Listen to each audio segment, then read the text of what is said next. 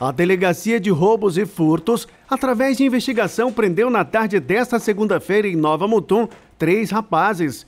Eles são suspeitos de fazerem um comércio de drogas na cidade. Os rapazes de 18, 20 e 24 anos estavam em uma kitnet na Avenida das Siriemas, no bairro Alto da Colina, quando foram surpreendidos pelos policiais da DERF que deram voz de prisão.